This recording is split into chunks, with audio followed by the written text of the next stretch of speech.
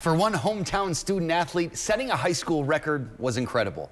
But on top of it, the Brown Deer Jr. met the legendary player whose record she just broke, Steve Novak. And Novak eventually left Brown Deer High School to play at Marquette and in the NBA. And as CBS 58's Michelle Fiore reports, their meeting came at an amazing time. Ameerah Grant's fast on her feet. You good, you good, you good, you good. And she's committed. We get to the gym about 5 a.m. and she puts up about 400 shots before she go to school. But a moment off the court is one Grant and her family won't soon forget. Yep, my first time. And he's super tall. Super tall.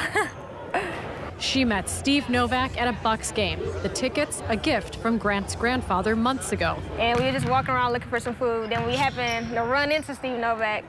Maybe why Novak was so easy for Grant to spot is because she's been looking at his face on her gymnasium wall. She was excited. I was excited. I was like, that is super random. For 22 years, Novak's held the record at Brown Deer for most career points. But during this game, right here, number 12 on the Lady Falcons basketball team eclipsed his total.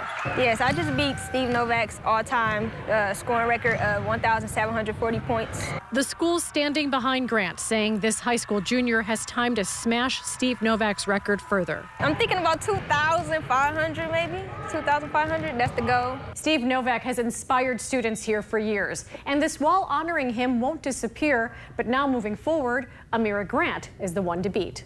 Even Novak seemed pleased with the random encounter, posting this the number one scorer in BDHS history, and me. I'm very proud, extremely proud, because she's been working since she's been so little. Grant's been playing basketball since she was three. My main goal is to go to the WNBA, so play professionally. When you set a goal, it allows for you not to be distracted as much because you know where you're headed. So set a goal, focus on it, and work hard to uh, earn it. The Lady Falcons finished their season 16 and 8. They take on Dominican this Friday in the playoffs. Oh, that's Aren't awesome. they great? And of Yeah. course, Steve Novak, currently an analyst for the Bucks. So I mean, he's been uh, hometown basketball as it gets around here. So to break his record, she's doing good things. That's and awesome. he said that he kind of recognized her when he saw her. um, but not completely. But she, she went up to him the first time, and then she went back to her family, and they were like, "You need to go back and tell him who you are." So then she went back and told him, and he was like, "I kind of thought that was you. Kind of thought so." Well, it seems like he was really gracious about it, too. yeah, absolutely. And that tweet was so cute, wasn't it? Yeah, it was really nice. Yeah. Leading scorer and me, Steve Novak. Yeah, Good nice. stuff. Michelle, thank